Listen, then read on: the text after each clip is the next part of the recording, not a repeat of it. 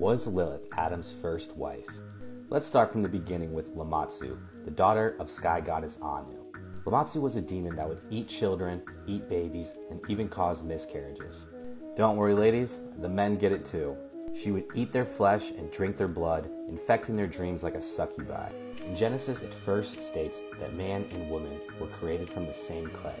Afterwards, it states that God created man and then woman from man. From this, we can assume that the first woman was not Eve. In other texts, it says that Adam and Lilith would not submit to each other. Neither of them wanted to be a bottom. In a fit of rage, Lilith left Eden and blasphemed God's true name. After leaving Eden, Lilith started to collect the semen of men while they slept to create demon offspring. In response to creating demons and killing babies, three angels were dispensed to kill a hundred of Lilith's offspring every day. Parents could protect their children if they had an amulet with one of the three angels' names inscribed on it. Here's a descendant of Lilith.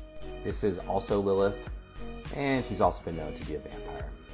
Up next, you got more demons, more angels, and more gods. Follow for more.